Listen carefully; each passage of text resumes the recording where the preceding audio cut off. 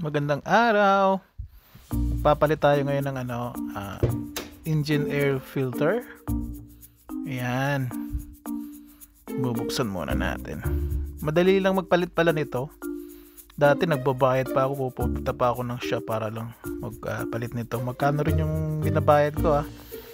Nung natutunan ko at least ano, nakatipid ako. ano lang yan, apat na screw ang tatanggalin mo. Ayan. Tapos dadahan-dahanin mo lang kasi may mga wirings na nakakabit dyan. Make sure na hindi mo siya map- mapatid. Ayan o. Tingnan mo. Ayan o. Grabe. Ang dumi na. Yan. Ang itim na, 'di ba? So talagang palitan na siya. Tinignan ko nga sa araw eh, pero may nakikita pa naman ako. Anyways, ito na yung bago. Papalit ko guys. Magkano to? $15? Medyo mahal din.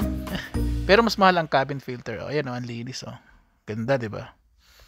Yan, so pag pa, ano mo, pag kabit, dahan-dahan din. Ayan. Oops, baliktad. baliktad. Halata mo talaga yung mekaniko, ano? Yan.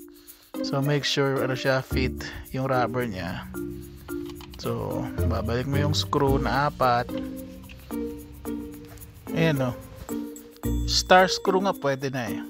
Diyan sa apat na, na, na tornilyo. Ayan, guys. So, tapos na tayo.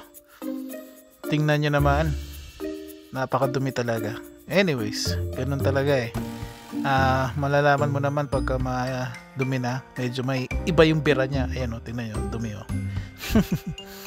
Grabe.